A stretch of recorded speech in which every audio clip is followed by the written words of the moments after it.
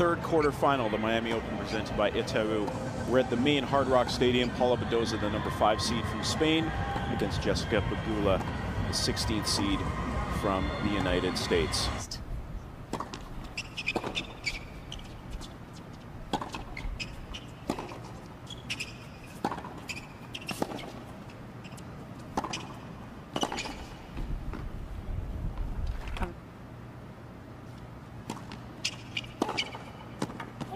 Goes all over that second serve, and Pegula's going to have to get a few more first serves in. She only.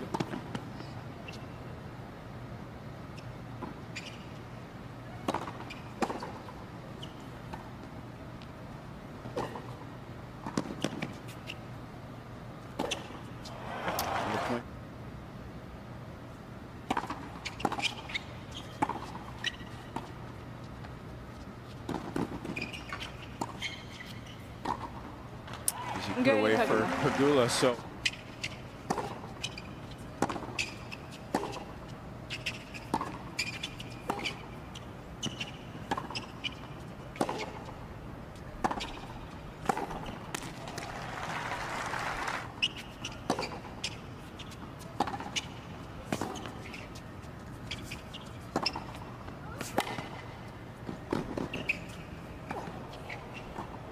Nice strategy from Pegula there.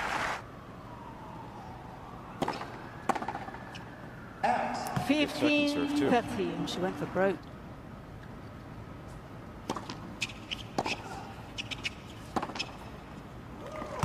Because of it.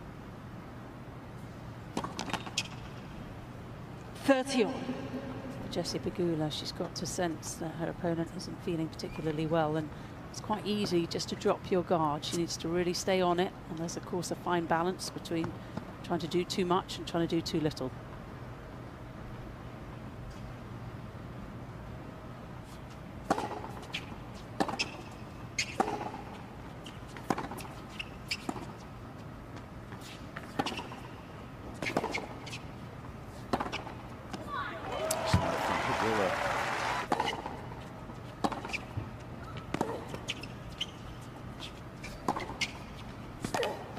Good stuff from Pegula, moving Badosa around tonight.